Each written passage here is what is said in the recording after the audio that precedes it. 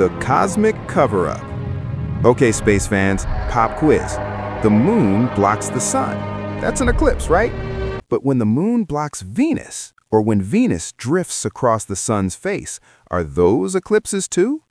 If you think these are all the same thing, you're about to have your mind blown. Today, we're solving the cosmic cover-up and learning the one simple rule that tells them all apart.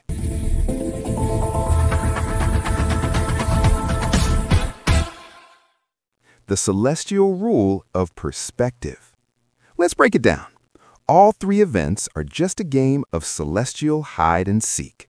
You need three players, you, the viewer, a foreground object, and a background object. The only thing that changes is their apparent size from where we're standing. Let's meet the suspects. First, solar eclipse. Here, our moon steps perfectly between us and the sun but through a cosmic coincidence, they appear the exact same size in our sky because the sun's width is 400 times bigger than the moon, but the moon is about 400 times closer than the sun. The moon masks the sun's bright face, turning day to night. It's like holding your thumb up to just block a friend's face across the street. Next, occultation. This is when any closer object completely hides any farther object. The key is the foreground object appears larger. The classic example is the moon blocking a bright star or planet like Venus. One moment Venus is there, then the moon's edge swallows it, and later spits it back out. It's not special, it's just a bigger thing, closer to us, blocking a smaller thing, farther away. Imagine a soccer ball moving in front of a distant floodlight. Finally, transit.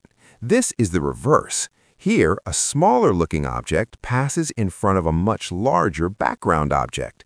The foreground object is too small to hide anything. It just makes a tiny silhouette. Examples? Mercury or Venus as a tiny black dot crawling across the face of the sun. Or, and this is huge, an exoplanet transiting a distant star. This is literally how astronomers discovered thousands of new worlds. It's like watching a mosquito fly across a bright projector bulb. So, let's lock it in. Occultation, direct cover, foreground is bigger. Transit, tiny silhouette, foreground is smaller. And an eclipse? An eclipse is really just a special occultation where the sun is the background star. Boom! Cosmic mystery solved.